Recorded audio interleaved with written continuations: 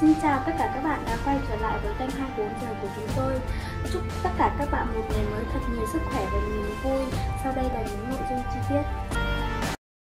Nhân sắc trẻ đẹp ngoài đời của mẹ vợ Kim Lý và Lý Hải khiến nhiều người bất ngờ.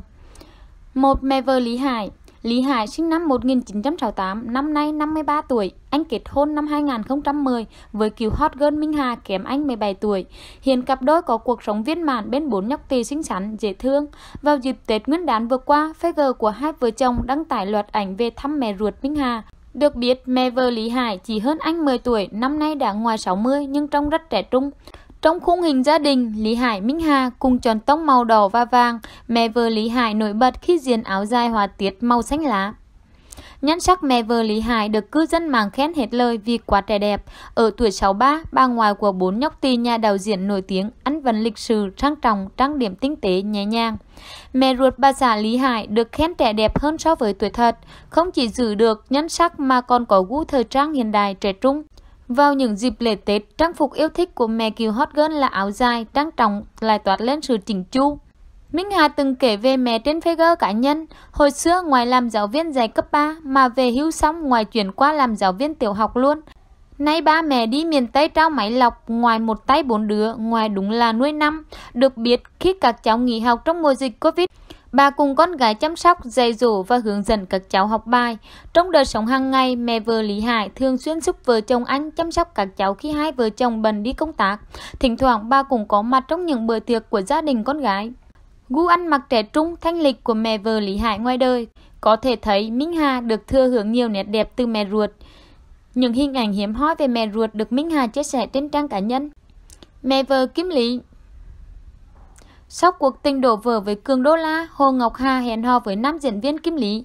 Tháng 11 năm 2020, cặp đôi thông báo đã kết hôn, chính thức trở thành vợ chồng.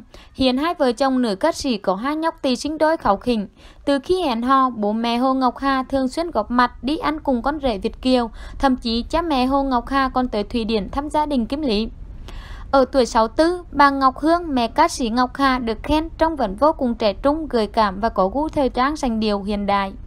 Loạt ảnh bà Ngọc Hương diện đầm xanh xẻ cao, đi dạo trên phố được đăng tải vào tháng 3 vừa qua gây sự chú ý của cư dân mạng. Bên dưới bài viết, nhiều người hâm mộ hết lời khen ngợi, vóc dáng trẻ trung, quyến rũ của mẹ vợ Kim Lý.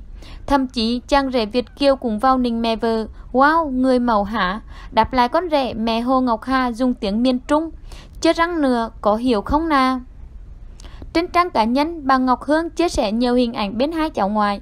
Thậm chí khoảnh khắc bà diện váy trắng đi quật cao, đeo kính râm, đôi mũ cói đang bế cháu ngoài rào bước trên phố. Được đăng tải nhận được nhiều lời bình luận khen ngợi, thậm chí một fan của Hồ Ngọc Hà còn cho rằng nếu không nói đây là cháu ngoài, nhiều người sẽ lầm tưởng bà Ngọc Hương đang bế con đi dạo phố chứ.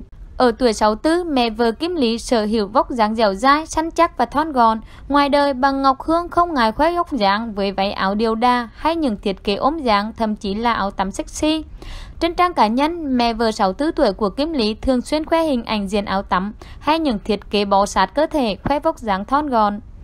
Để có được thân hình chuẩn mẫu như vậy, bà Ngọc Hương thường xuyên tập luyện yoga. Trên mạng xã hội, mẹ Hồ Ngọc Hà chia sẻ hình ảnh thể hiện động tác yoga khó, khoe vóc dáng thon gọn. Đây là kỹ thuật yoga khá khó và nhiều người tập lâu năm cũng không dễ dàng thực hiện điêu luyện đến vậy. Bản tin của chúng tôi đến đây là kết thúc. Cảm ơn các bạn đã quan tâm theo dõi. Hẹn gặp lại các bạn ở những tin tiếp theo.